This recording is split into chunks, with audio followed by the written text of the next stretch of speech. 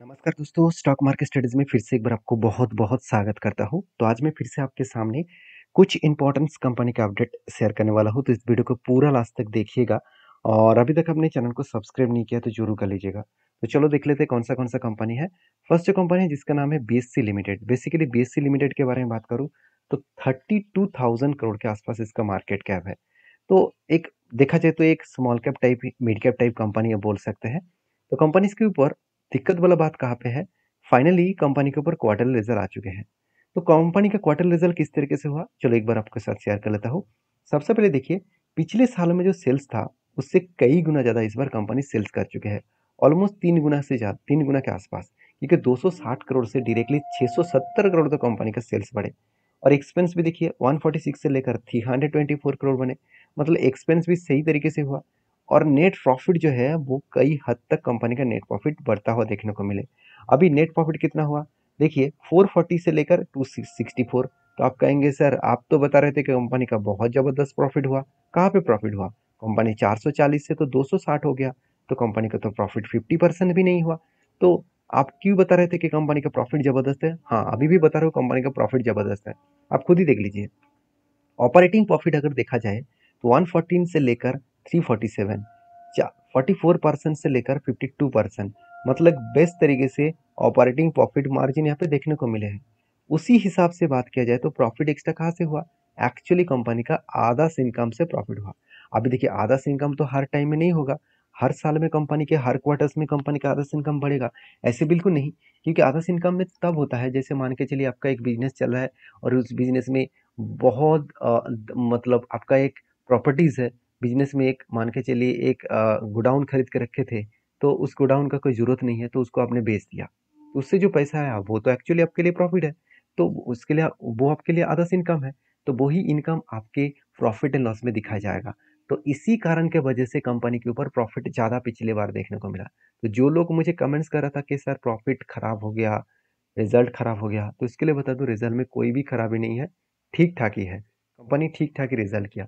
अभी कंपनी के ऊपर इन्वेस्टर के क्या राय है? देखिए, एक टाइम डीएस ने इस कंपनी के ऊपर भरोसा नहीं किए थे। एक टाइम एफ़ ने भी इस कंपनी के ऊपर भरोसा नहीं किए थे। आज एफ़ के पास ग्यारह परसेंट डीएस के पास ग्यारह परसेंट का होल्डिंग है। ओवरऑल बाकी होल्डिंग किसके पास है? पब्लिक के पास fifty four percent and Adarsh के पास ट्वेंटी टू परसेंट। अभी आदर्श आदर्श का मतलब कुछ अलग अलग गवर्नमेंट संस्थाएँ भी हो सकते हैं प्राइवेट संस्थाएँ भी हो सकते हैं। सब कुछ मिलकर 22 परसेंट के आसपास होल्डिंग्स देखने को मिला। तो ओवरऑल जो सिचुएशन है, इस सिचुएशन के हिसाब से बात करूँ कंपनी के ऊपर ज़बरदस्त एक कंपनी के ऊपर ग्रोथ जो है, वो बढ़ता हुआ देखने को मिले और अच्छा खासा कंपनी के ऊपर जर्नी यहाँ पे देखने को मिला, जो जर्नी कंपनी को एक बेस्ट तरीके से आगे बढ़ाने के लिए काफ़ी है, एक बेस्ट तरीके से जर्नी करने के लिए काफ़ी है। तो बाकी इस बी एस के ऊपर एक ही चीज़ सॉरी बीएससी के ऊपर एक ही बात कहूँगा कि मैं इस कंपनी के ऊपर ट्रस्ट बिल्ड करता हूँ। आप किस तरीके से सोचते हैं, ज़रूर कमेंट्स करना। क्योंकि जिस कंपनी के ऊपर मैंने एक रेंज के बेसिस में एक एंटी मुझे मिला था, उस बेसिस में मैं कंटिन्यू करूँगा और यहाँ पे मुझे एक बाइंग का भी रेंज मिले।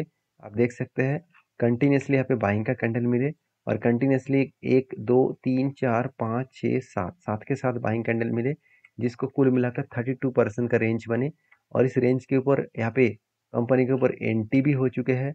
और उसके बाद कंपनी ऊपर जाने के बाद नीचे भी आ रहा है। मुझे लगता है यहाँ से फिर से वो करेक्शन हो सकते हैं फिर से वो रिवर्सल कर सकते हैं। बाकी आपके क्या ओपिनियन है इस कंपनी के ऊपर? ज़रूर कमेंट्स करना। तो नेक्स्ट जो कंपनी उसका नाम है एक्साइड इंडस्ट्रीज़ लिमिटेड तो फाइनली एक्साइड के ऊपर भी क्वार्टरली रिज़ल्ट आ चुके हैं। तो क्वार्टरली रिज़ल्ट जो आया है वो किस तरीके से है? चलो एक बार देख लेते हैं। 4,200 करोड़ से 4,400 करोड़ बने। और year P basis and quarter quarter basis दोनों में ही कंपनी का जो सेल्स का ग्रोथ है, वो बहुत स्ट्रॉन्ग तरीके से सेल्स का ग्रोथ देखने को मिले। अभी एक्सपेंस मिटाने के बाद कंपनी का जो नेट प्रॉफिट है, वो बहुत शानदार देखने को मिला। जैसे आप देखेंगे 202 करोड़ 224 करोड़ अभी 221 करोड़ मतलब कंपनी हर साल में खुद का नेट प्रॉफिट जो है, वो बढ़ाते चले गए। एक अलग लेवल का नेट प्रॉफिट करता चला गया। तो मैं ये नहीं कहूँगा कि कंपनी का प्रॉफिट बहुत ख़राब हुआ है, ऐसे नहीं कहूँगा कि कंपनी प्रॉफिट ख़राब किया। हाँ पिछले सालों की तुलना से छोटा मोटा प्रॉफिट करेक्शन हुआ और पिछले क्वार्टर की तुलना से ऑब्वियसली प्रॉफिट ज़्यादा हुआ। तो ओवरऑल कंपनी के साल भर के डेटा देखूँ तो सेल्स का जो डेटा है, last till two month, last till two month का मतलब क्या है? लास्ट बारह मंथ। इस मंथ से लेकर लास्ट बारह मंथ तक कंपनी का टोटल सेल्स है ग्यारह परसेंट, जो लास्ट थ्री ईयर्स को बीट नहीं कर पाए। और नेट प्रॉफिट के बारे में बात कर दो दो परसेंट के आसपास प्रॉफिट हुआ करता था। लास्ट ट्वेल्व मंथ्स में कंपनी चार परसेंट का प्रॉफिट किया। मतलब प्रॉफिट प्रॉफिट में थोड़ा सा जर्नी यहाँ पे कंपनी का पॉजिटिव देखने को मिला। शायद इसीलिए कंपनी भागते चले जा रहे हैं और कंपनी इसीलिए शायद सालों में 88 परसेंट का रिटर्न भी दिया है। कंपनी ज़बरदस्त रिटर्न ऑफ़ इक्विटी को भी मेंटेन कर रहा है। लास्ट ईयर में थोड़ा सा कम हुआ। बाकी इस कंपनी के ऊपर अगर मैं इन्वेस्टर के हिसाब से देखूँ तो इस इन्वेस्टर के हिसाब से आप, अगर आप देखेंगे तो कंपनी के ऊपर म्यूचुअल फंड भी खुद के होल्डिंग बढ़ा चुके हैं। साढ़े सात परसेंट से साढ़े बारह परसेंट और एफएस के पास दस परसेंट होल्डिंग था, वो बढ़ के साढ़े तेरह परसेंट हो चुके हैं। बेस्ट तरीके से यहाँ होल्डिंग्स बढ़े हैं। उसी हिसाब से बात करूँ तो एक साइड के बारे में बात करूँ तो एक साइड के जो अपडेट है, वो मैं आपको बता दूँ। आप देख सकते हैं, एक साइड इंडस्ट्रीज़ कंसोलिडेटेड जो नेट प्रॉफिट है, डिक्लाइन। तो ऑब्वियसली डिक्लाइन दिखेगा, क्योंकि ईयर ऑफ़ ईयर बेसिस में तो कंपनी का डिक्लाइन है। क्वार्टर क्वार्टर बेसिस में कंपनी का प्रॉफिट अच्छा हुआ, मगर ईयर ऑफ़ ईयर बेसिस में अच्छा नहीं हुआ तो इसके मतलब जो एस्टिमेट किया गया था, उस एस्टिमेट को मिसिंग कर चुके हैं। और यही कारण के वजह से शेयर में कुछ दिनों से एक करेक्शन देखने को मिला है। तो आपको सोचना पड़ेगा कि किसी भी कंपनीज़ के ऊपर जब भी आप काम करने के लिए जाएँगे तो आपको सारी चीज़ों को सोचकर ऑब्ज़र्व करके काम करना पड़ेगा। अभी देखिए यहाँ पे दो बाइंग कैंडल का रेंज बने मुझे कुछ दोस्तों ने कमेंट्स भी किया कि सर इस रेंज के ऊपर कोई भी आप डिसीज़न लेने वाला है? बिल्कुल नहीं। क्योंकि यहाँ पे जो टोटल दो बाइंग कैंडल का रेंज बने उसका रेंज निकल का है नाइनटीन परसेंट मुझे तो चाहिए ट्वेंटी परसेंट के ऊपर तो यहाँ पे ट्वेंटी परसेंट बना नहीं तो मैं इसलिए स्ट्रेटेजीज को यूज़ नहीं करूँगा। तो फ़िलहाल के लिए मेरा इस कंपनी के ऊपर कोई भी आ, कुछ नया पैटर्न्स देखने को नहीं मिला टेक्निकली तो इसीलिए मैं इस कंपनी के ऊपर अभी अवॉइड करके चलूँगा। तो नेक्स्ट जो कंपनी है उसके बारे में बात करूँ उसका नाम है इन्फोसिस लिमिटेड फाइनली इन्फोसिस का क्या हालत है, वो एक बार चलो मैं आपको दिखा देता हूँ। देखिए इन्फोसिस के ऊपर जब मुझे एक पैटर्न्स मिला था, कुछ इस तरीके से सॉरी कुछ इस तरीके से कप विथ हंड्रेड पैटर्न्स मिला। पहले कप बने, उसके बाद हैंडल पैटर्न बने ब्रेकआउट हुआ रिटेस्ट किया और रिटेस्ट कहाँ पे किया? जो इसका स्ट्रांगली सपोर्ट है। स्ट्रांगली सपोर्ट है, क्यों सपोर्ट है? क्योंकि देखिए, यहाँ से कंपनी बाउंस बैक किया, फिर से इस लेवल में सपोर्ट लिया, ऊपर गया, फिर से सपोर्ट लिया, फिर से ऊपर गया, फिर से सपोर्ट लिया। तो इसी सपोर्ट लेवल में बार बार वो रिटेस्ट किया। तो इस सपोर्ट लेवल को वो ब्रेक नहीं कर पाए और फाइनली वो टारगेट के नज़दीक से रिवर्स हो गया। रिवर्स क्यों हो गया? क्या कंपनी के ऊपर कुछ खराबी है? बिल्कुल नहीं।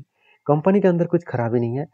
सिर्फ़ देखा जाए तो कंपनी के जो ग्लोबली मार्केट में इम्पैक्ट आया यूएस मार्केट से इम्पैक्ट आया, उसका डायरेक्टली आईटी सेक्टर में सबसे ज़्यादा पड़ता है क्योंकि कोई भी यूएस मार्केट से कोई भी नेगेटिव न्यूज़ आए तो उसका डायरेक्टली एक नेगेटिव सेंटीमेंट आईटी सेक्टर के ऊपर देखने को मिल जाता है। तो मुझे लगता है जो सिचुएशन बने हैं उस सिचुएशन के बेसिस में कंपनी में एक अच्छा खासा जर्नी यहाँ पे देखने को मिल सकता है। बाकी आपके क्या राय है? ज़रूर मुझे कमेंट्स करके बताना। आ, क्योंकि सारे जो अपडेट्स हैं वो आपके साथ इसीलिए शेयर करता हूँ क्योंकि आपको कंपनी के बारे में ज़्यादा से ज़्यादा जानकारी मिले। और कोई भी न्यूज़ होता है तो वो भी मैं आपके साथ शेयर करता हूँ।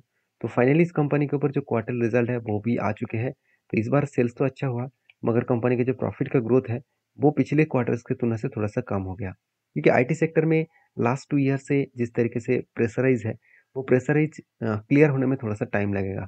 क्योंकि ये प्रेशराइज शुरू हुआ है, जब से जब से देखा जाए तो रसिया के साथ रसिया के साथ जब से मतलब आपको रसिया के साथ जब से इसराइल का युद्ध स्टार्ट हो गया था, तब से लेकर क्रूड ऑयल का प्राइस भी बढ़ गए थे। और उस कारण के बेसिस में ग्लोबली मार्केट में सबसे ज़्यादा आईटी सेक्टर के ऊपर एक प्रेशराइज बनता हुआ देखने को मिले था। तो मैं इस कंपनी के ऊपर पॉजिटिव इसलिए हूँ क्योंकि कंपनी के ऊपर इन्वेस्टर कोई भी सिचुएशन में खुद के स्टेक को नहीं बेचा। हाँ आप कहें, कहेंगे, सर, थर्ट सिक्स परसेंट का होल्डिंग तो एफएस के पास था, अभी तो थर्टी टू परसेंट है। तो आप बोल रहे हैं कि इंस्टीट्यूशन माल नहीं बेचा। हाँ एक इंस्टीट्यूशन ने माल बेचा है, दूसरे इंस्टीट्यूशन ने तो खरीदारी किया ना। थर्टी टू से कितना किया? थर्टी सेवन परसेंट मतलब एक ने माल बेचा और दूसरे ने खरीदारी की है। अगर यहाँ पे पब्लिक का होल्डिंग बढ़ता हुआ देखने को मिलता तो कुछ अलग डिसीज़न बनता। तो पब्लिक का तो होल्डिंग सेम टू सेम है। तो मुझे लगता है जो सिचुएशन बना है, जो कंपनी को बूस्ट करने के लिए काफ़ी है, आगे बढ़ाने के लिए काफ़ी है। बाकी आप समझदार है, समझदारी से सारी चीज़ों को समझे और उसके बाद काम करें। तो चलो, अभी नेक्स्ट कंपनी के बारे में चर्चा कर लेते हैं। नेक्स्ट कंपनी का नाम है मारुति इंफ्रास्ट्रक्चर लिमिटेड बेसिकली एक छोटा सा कंपनी है। फिर भी इस कंपनी का अपडेट यही है कि कंपनी जल्द से जल्द आपको बोनस देने जा रहा है। हर दो के बदले एक शेयर कंपनी आपको आज के दिन देने वाले थे। तो जो लोगों को बोनस पाना चाहिए था, उसको लोग, उस लोगों को बोनस मिला कि नहीं मिला ज़रूर मुझे कमेंट्स करके बता सकते हैं। और ये जो वीडियो है टोटली आपको एजुकेशन पर्पस में शेयर किया है। मेरे तरफ़ से कोई भी बाय एंड सेल का रिकमेंडेशन नहीं है। अगर आपको काम करना है तो सेबी रजिस्टर एडवाइजर के साथ बातचीत करके काम करिए। देखिए, मैं सारे चीज़ आपको फ्री ऑफ़ कॉस्ट इस यूट्यूब चैनल के माध्यम से सिखाता रहता हूँ। अगर आपको सीखना है तो कंटिन्यू करिए।